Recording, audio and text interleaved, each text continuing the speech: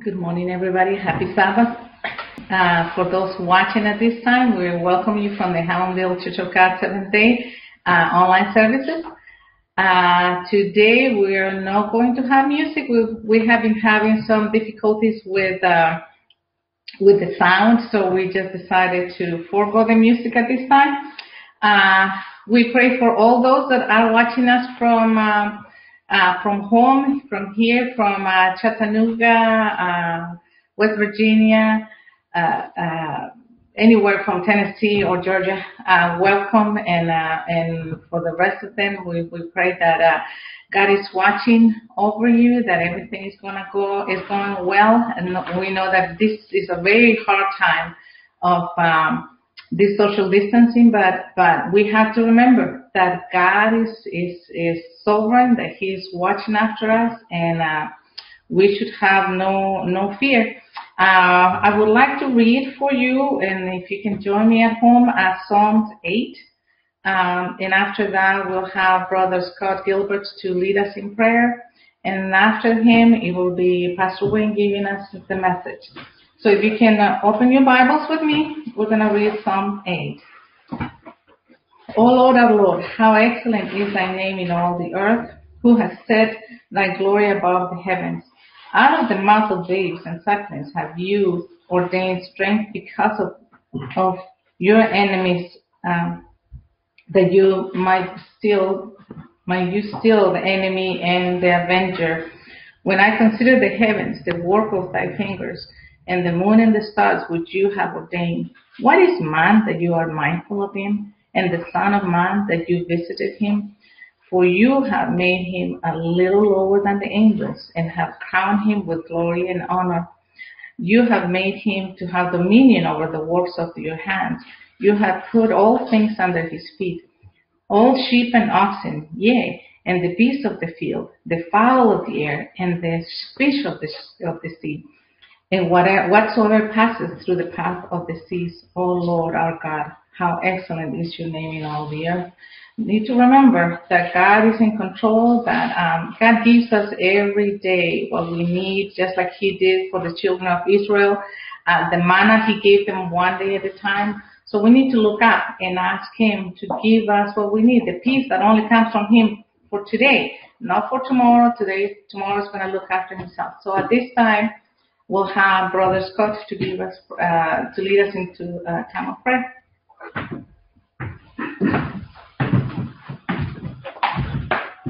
Thank you, Zaida. Uh, good morning. Um, um, let us pray.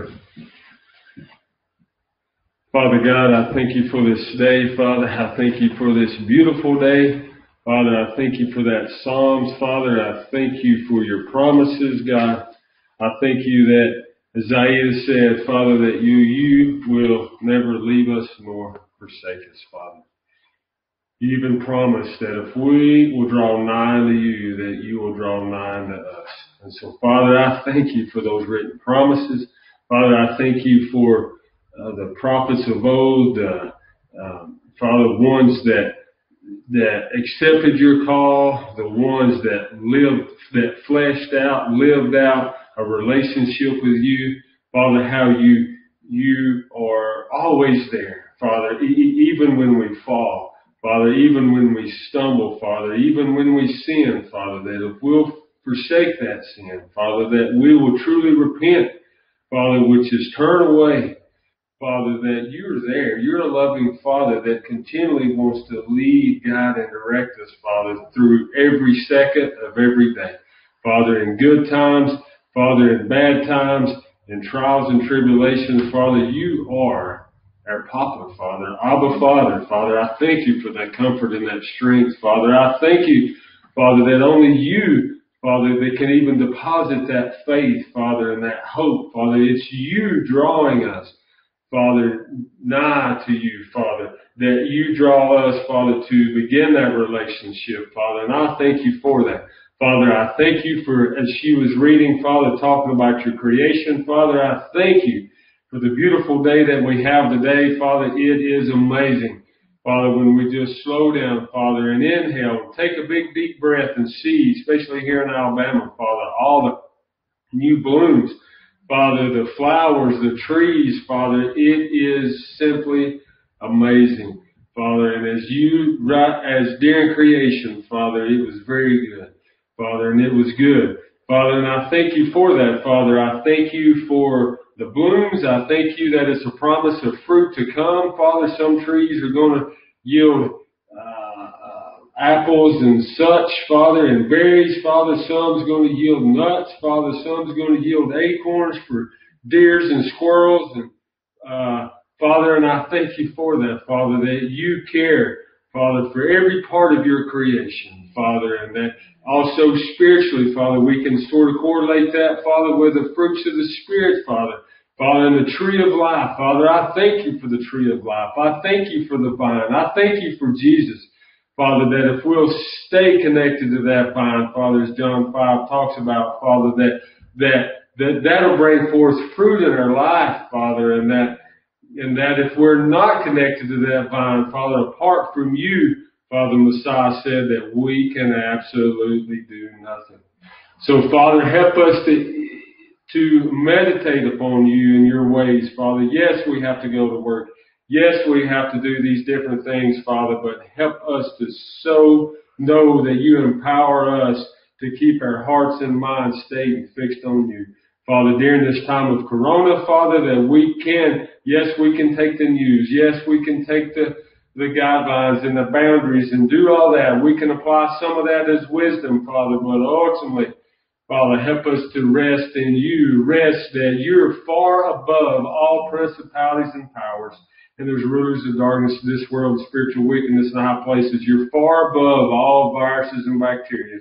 Father, and I thank you for that. So help us to go forth in power and strength, Father, body, soul, and spirit, to do the things that we can do in the physical realm. But Father, most of all, Father, that we will eat a healthy and abundant appetite, appetite of spiritual food, Father, that feeds that inner man, Father, that, that we can see the solution that no matter what's coming our way, no matter what's forecasted, Father, even the, the inclement weather, Father, that possibly coming tomorrow, Father, in the south, Father, I pray that you would spare us, Father, that you would turn the weather, Father, that you would, if we have to go through the storm, Father, that you will lead, guide, and direct us, but most of all, that you've promised to lead and guide and direct us. So, Father, help us to keep our ear to the ground, so to speak. Father, help us to practice, Father, when times are good, knowing your voice, learning your voice, knowing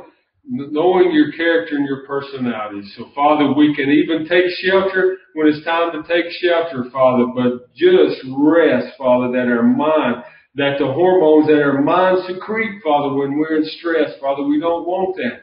Father, your, your word says to, to think upon things which is good and perfect and of lovely and of good report, any praise, any virtue, think on these things. Father, you knew this way back when, even before science proved that when we think upon good things, when we think upon your goodness, when we shift our mind, our carnal mind, the things that are true, Father, that our body secretes hormone that makes us feel good, that gives us joy, that strengthens our immune system, Father. I thank you for that revelation, Father. And if people that are hearing me pray this prayer, Father, and to quote your word, Father, that, that they would begin to believe it, Father, that they would put it in practical application. Father, everything that you ask man to do or instruct him to do, Father, is profitable, body, soul, and spirit. Father, the only thing that I personally think that separates those three is your word and death.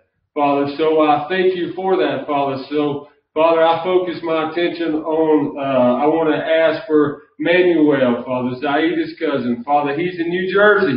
Father, I pray that you would heal him, Father, that you would protect him, Father, you would protect his his wife and his kids, Father, as he's been diagnosed with coronavirus. Father, I pray that, that he's going to get to the other side. Father, I pray that you would strengthen him, Father. You would show him what to do. You'd send laborers in his path, Father. If he seeks medical attention, Father, I pray that you would supernaturally move in that situation, that, that they would do the things that would truly get him to a state uh, of well-being, Father, and that He would, that, and when He's on the other side, Father, that He'd give you the glory and the honor, Father. I don't know His heart and mind. his family situation, Father, but I just pray that you would show yourself mighty in their situation, Father, that you would draw them close to you, Father, and they would choose to draw close to you, Father, and they'd draw close to one another.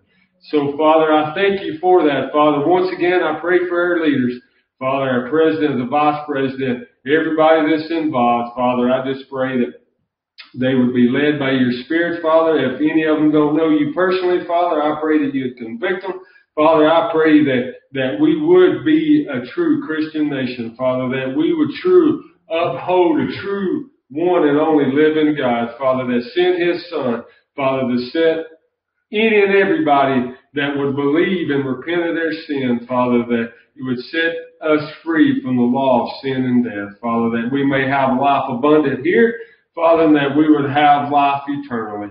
So, Father, I do pray a, special prayer once again, Father, for the weather that's possibly coming. Father, I just pray that that that you'd protect us all, Father. You would uh, show us what to do, Father. Help us to be wise, Father, but also help us to be full of faith. So, Father, help us also, Father, to, uh, um, as believers, Father, help us not just in rough times, Father, but in all times, Father, help me, Father, and us as believers, Father, to truly slow down, Father, and, and, and truly look for opportunities to share your good news, Father, with with with other believers, Father, but also first and foremost, Father, with your lost sheep, Father, with with people that do not know the free pardon of sin, that do not know the peace of being able to lay your head down at night, Father, and to take no anxious thought for tomorrow. So, Father, help us to share that good news. Father, you hope that all men are redeemed. Father, your word says, as I quoted a couple of Sabbaths ago, Father, for God so loved the world that he gave his only begotten Son. That whosoever should believe in him would, should not perish but have eternal life. So Father, I thank you once again for those promises, Father. I pray for, um, folks that are listening, Father. I just pray that you know every situation. Father, you know every heart and mind. So I pray that your spirit, Father, would comfort those, Father, ones that needs convicted, convict them, Father, of, of sin, Father. Father, uh, ones that need encouragement, Father, I pray that you would encourage them, Father. Your Spirit, uh, Jesus referred to it as the Comforter, Father. It can be a comforter, it can be a business partner, Father. You, your Spirit knows all things and all powerful, but it's also a gentleman. Father, help us not to grieve the Holy Spirit, Father. Help us to not have words contrary to faith or corrupt communication to proceed out of our mouth. Father, I pray that you teach our tongues, teach our hearts, Father, that you may be honored and glorified, Father, that, that our lives would show that a, an invisible, unseen God is real and worth trusting. So Father, I pray for Pastor Wayne as he's about to come. Father, I pray that you would encourage him, strengthen him. Father, you would fill him with love and joy, Father, and I pray that your message, the seed that that you're going to sow through him, Father, would that take root in our hearts, Father. Father, and help us to be good stewards of our ground, Father. We would till it up, Father, that we would have fertile soil. Father, as your word is prayed, preached, taught, and sang. Father, in Jesus' name I pray. Amen. That's one.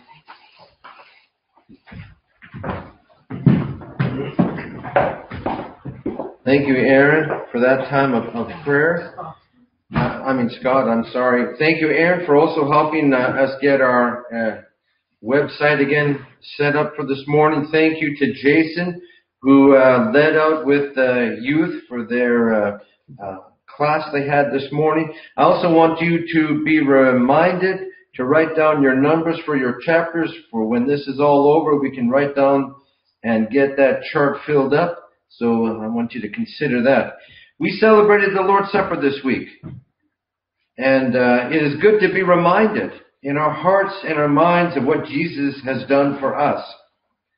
Uh, and also to remember that the Lord's Supper, which led us to the crucifixion, which led us also now to the great event which would have been today, uh, those many years ago, Jesus' resurrection coming in the later afternoon, it, it brings excitement, especially when we read in Luke the 24th chapter, if we were to look there for a moment and, and see the excitement of all of a sudden the tomb where the stone is rolled away. And then all of a sudden there are angels present there and for the people, Mary and for the disciples to all of a sudden recognize Jesus is gone.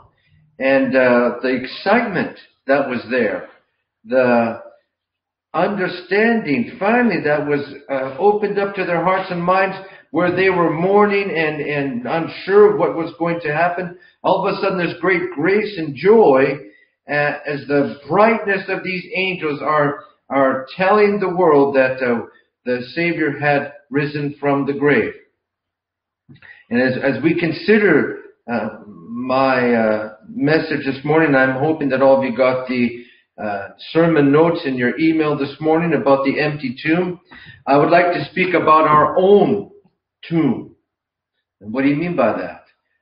I would like to go through three points with you this morning. Point number one, we are born in and live in that tomb of death.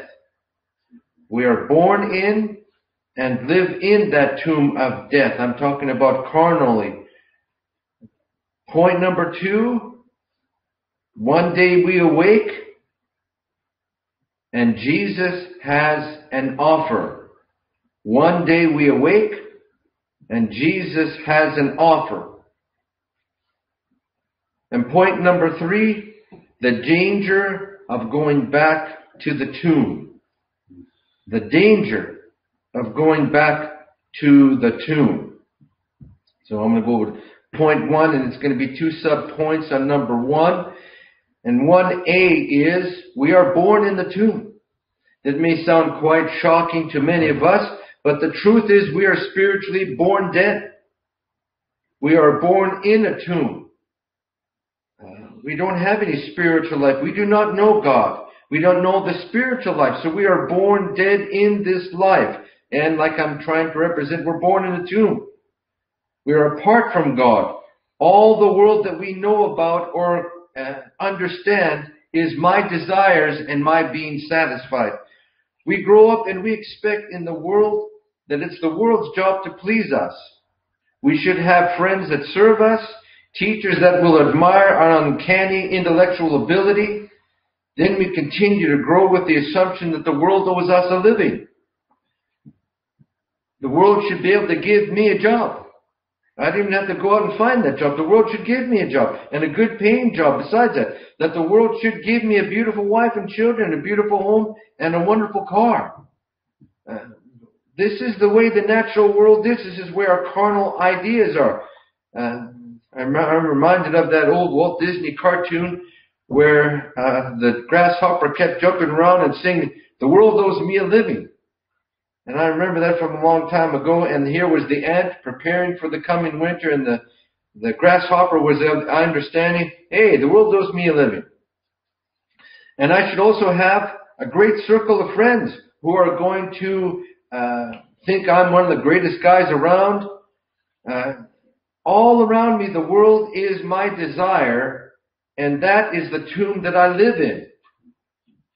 And it's a tomb. So we are comfortable in our tomb. We don't want anything to be changed. Uh, we don't want to hear the message of the gospel of the kingdom because I'm comfortable the way I am. You give me what I want. You satisfy my needs and I'm going to stay in this tomb the rest of my life. Uh, and we have the idea also, well, the, the, the church is, is a bunch of hypocrites. We're looking for any excuse we can have to continue to live our life. Don't you tell me that I'm dying uh, in the physical life. I don't want to hear it. Don't you tell me that I'm dead spiritually. I don't want to hear it. I just want to relax, eat and drink. Don't worry about tomorrow. I just want to have what I want today. That's the way we are in our tomb. And you know what I thought about that was some other person had said, what is the greatest prison you can uh, create? And many people came up, but one was the idea of we'll have a prison underwater so far down underneath that if they tried to get out there, they would die trying to get to the surface. Uh, they had all these different ideas about 12 or 15 feet uh, cement encasement all around the prison so you never could get out of there. And then they finally came to what was the greatest prison? It's the prison in which you don't know you're in prison. and you don't want to escape. You're happy in that, and that's what our tomb is. That's what the devil wants us to believe. You're happy, you don't need anything. You don't need Christianity, you don't need Jesus Christ. You've got your car, you've got a full refrigerator, you've got everything you need. Everything's good. Let me go to John, the third chapter, verse 19.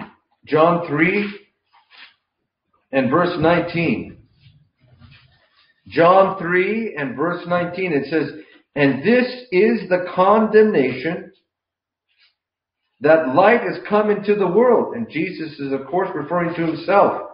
And men loved darkness rather than light because their deeds were evil. So don't you tell me that what I'm doing is wrong. You just let me live my life the way I want to.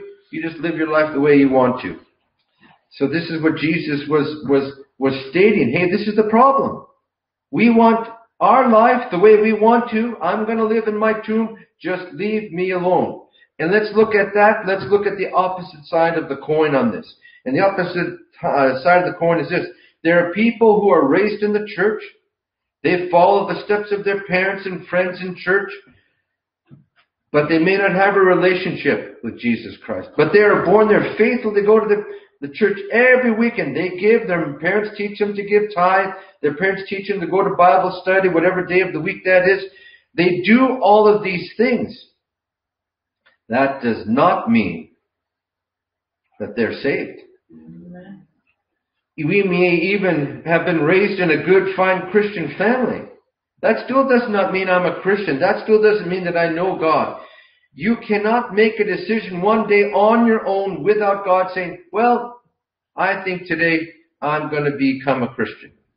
We can't do that. Why? Because Jesus himself told us, no man can come unto the Father unless what? Unless he draw him. So we can't even come to salvation. That is a miracle in itself. We're thinking, well, where are the miracles of God this day? Look in the mirror. You're a miracle because you have found salvation. That's the greatest miracle of all. It wasn't Jesus raising Lazarus from the dead or Jesus taking ten men that were lepers and cleansing them all at once. The greatest miracle is when Jesus comes into our life and we start to realize there's a problem here. When the, when the, the uh, conviction of the Spirit says, take a look at your life, see what's going on there. Unfortunately, we have many uh, people who tell us, just say this simple prayer, and when you have finished the prayer, and if you really, really, really believe, then you're saved. There are untold thousands who are walking on this earth who believe that they are saved when they're not. I read we must be drawn by God and by God's Spirit to come to the place where there's conviction in my heart. Otherwise, if we just say, well, I'm just going to say a simple prayer and somehow God's going to uh, save me uh, just the way I am, we don't invite God into a mess that is our lives. God comes and cleans out the mess. Out of our hearts, out of our lives, so that we are a clean vessel for God to dwell in. And then, and, and the problem is, there are more people after a year of, of, of making this so-called prayer and statement, yeah, I'm going, I'm to live for Jesus from now on. There are statistics that prove that after a year, most people who do that don't even go to church anymore, don't read their Bible, don't pray anymore. Uh, because we have been given a formula instead of given a Savior. So we need to realize we need Jesus Christ. We don't need someone's prayer just to pray. That we need to have Jesus in our hearts and our lives. Matthew 23 verse 27. Let's turn there for a moment. Matthew 23 and verse 27. We don't realize sometimes our condition that we're in and Jesus came to reveal that. Matthew 23 and verse 27 and it says, Woe unto you scribes and Pharisees, hypocrites. Why? For you are like unto whited sepulchres. We're talking about your tomb. You're like unto whited sepulchres, which indeed appear beautiful on uh, outward, but are within full of dead men's bones and of all uncleanness. And I want to take that kind of an idea and say, before we come to Jesus Christ, we may look and say, well, look, he's got a beautiful house, three car garage. Look at all these beautiful things he has. You may have beautiful things, but you may be a dead man walking. So we need to realize that our tomb is a dangerous place, and yet there are many people living in their tombs, happy in their tombs, and their tombs may be dark and dank and, and uh, humid and and uh, it's just a horrible place, but you know what? People get used to that. I want you to turn with me to Ephesians, the second chapter.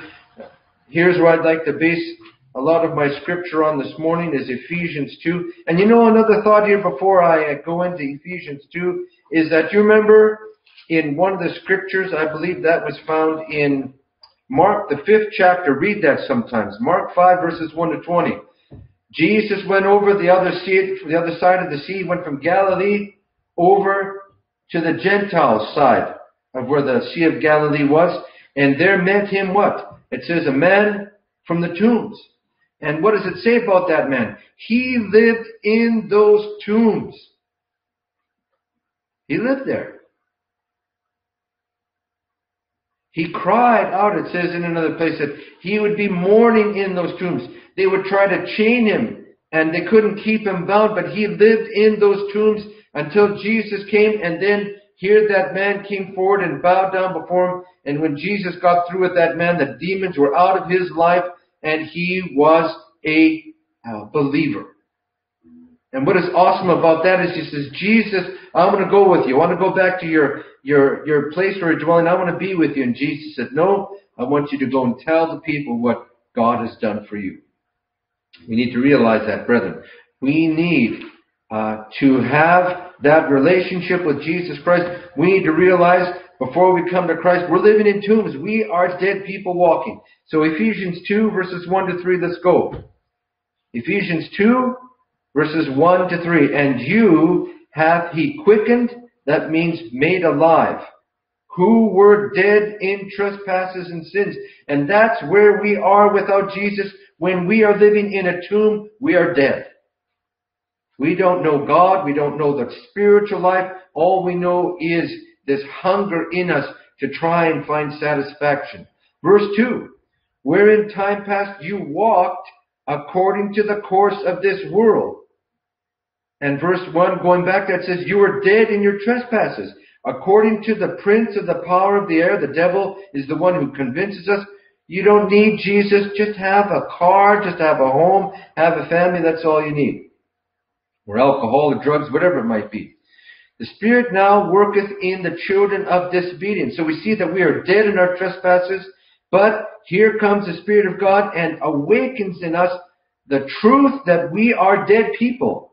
Verse 3, among, among whom also we all had our conversation in times past in the lusts or the desires of our flesh. And isn't it our desires that govern us, that uh, control us?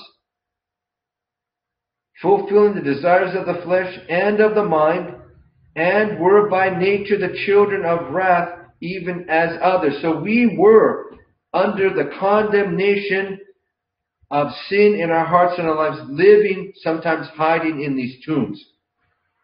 So we live in that tomb. And you know, brother, that's the part about it. We don't recognize it. We don't recognize that we are chained to something, but we are.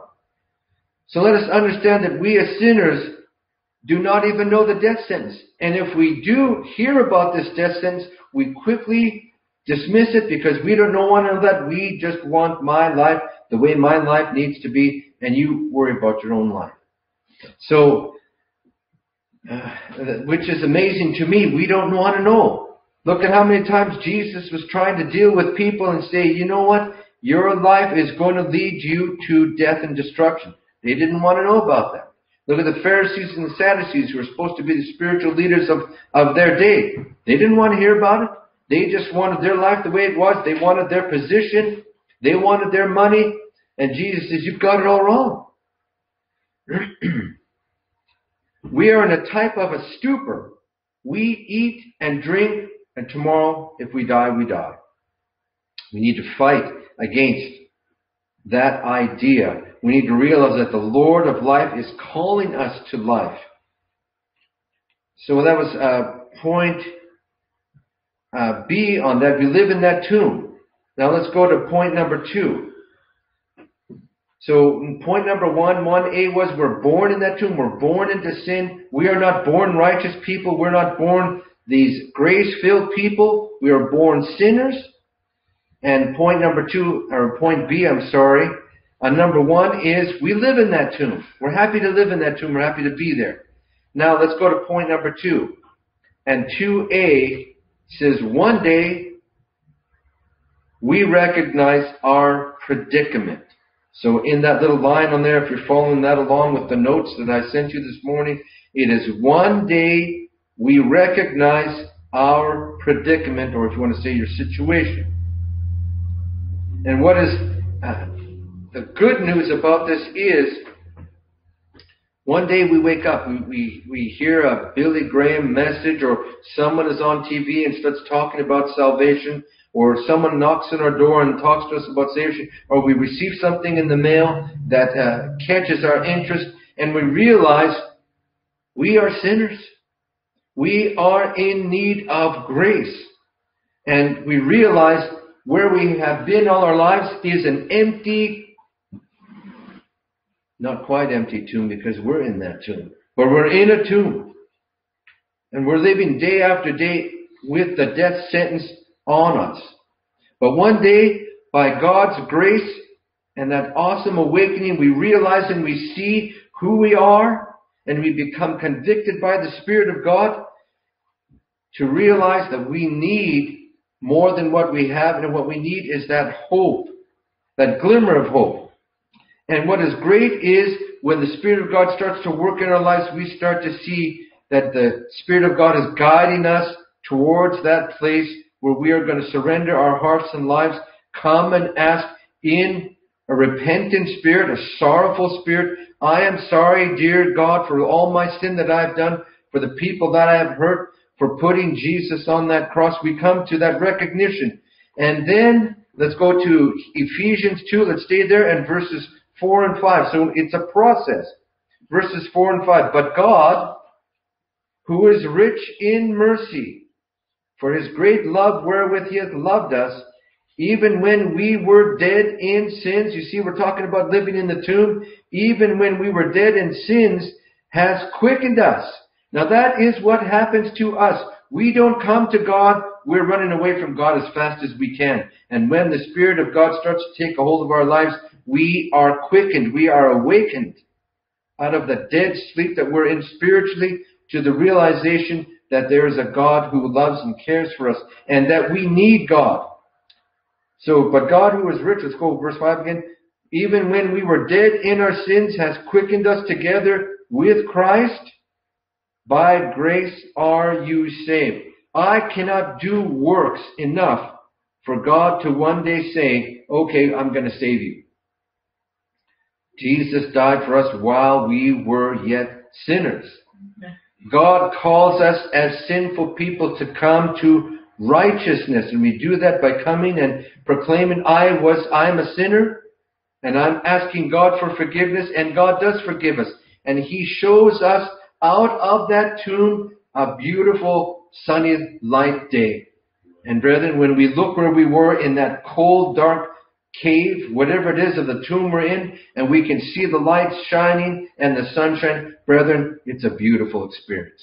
It's a beautiful thing to have. So one day we recognize our predicament, but the Spirit of God moves us to do something. And what that is, is point B.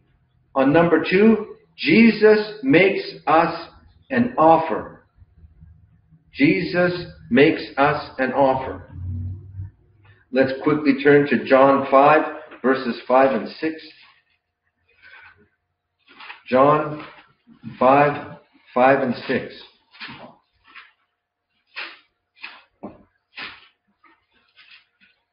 Worship Okay. John 5, verses 5 and 6. This is speaking about a man who was sick And as we understand, for 38 years, he was uh, with some kind of a palsy or some kind of paralysis where he couldn't get up and walk on his own. And it says in John 5, verse 5, and a certain man was there which had an infirmity 38 years. And when Jesus saw him lie and knew that he had been a long time in that case, he said unto him, Will you be made whole? Uh, let me put it also in our modern vernacular. Are you sick and tired of being sick and tired? Are you tired of being there all these years in that condition? And that's the way Jesus is with us. When the Spirit of God begins to move in our hearts and lives, Jesus says, Do you want a new life? Do you want a new hope? Do you want something new other than what you have? He gives this offer.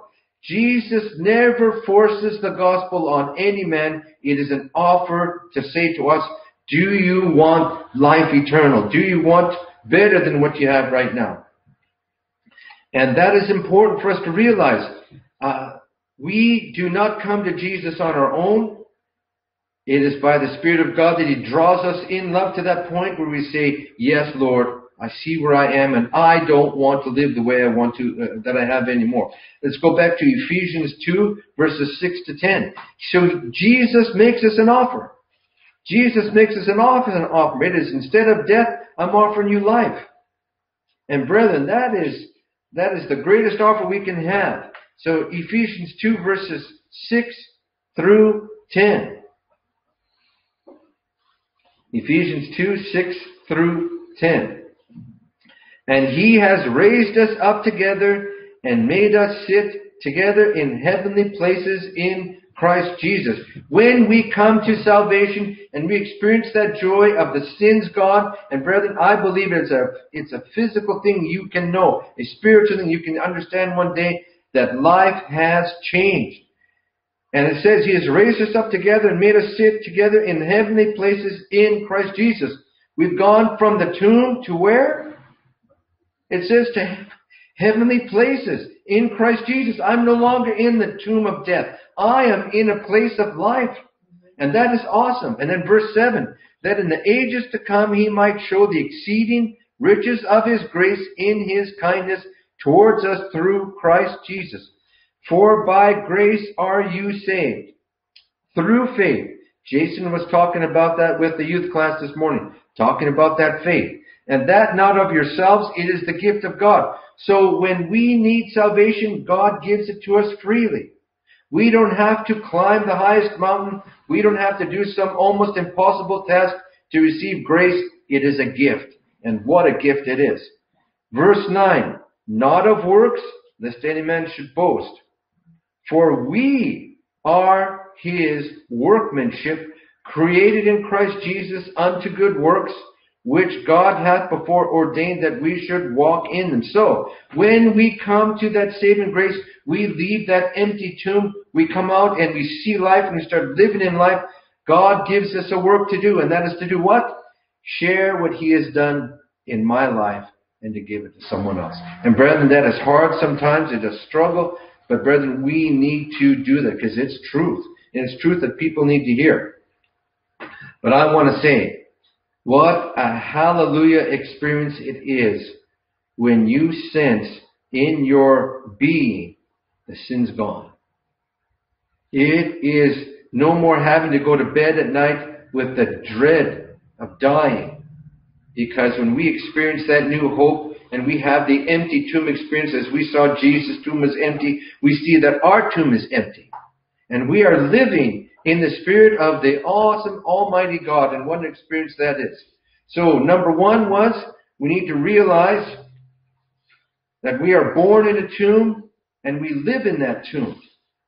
And then point number two, we recognize one day our predicament and Jesus makes us an offer. And now point number three, the danger of going back to the tomb. And it's, when we're just discussing the excitement and the joy of, of experiencing Jesus in our hearts and our lives, the question should be asked immediately, why do I want to go back to that dead, ugly place where I lived? And yet, brethren, you're going to find out through scriptures that Jesus tells us there are many people that do that. let's go to uh, Hebrews 6. Hebrews 6. And then we'll go to some words that Jesus says. Hebrews 6 verses 4 to 6. Hebrews, the sixth chapter, verses 4 to 6.